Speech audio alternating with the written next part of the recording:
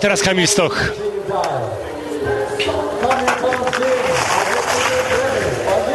Trzymamy mocno za Kamila.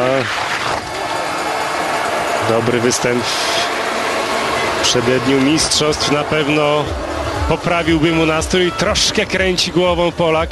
Nie jest przekonany, czy ten skok jest tak długi, tak ładny, jak mógłby tego oczekiwać, jak należałoby tego oczekiwać od zawodnika, który no, powinien walczyć o miejsce w pierwszej dziesiątce, a nie przebijać się e, z 18 pozycji.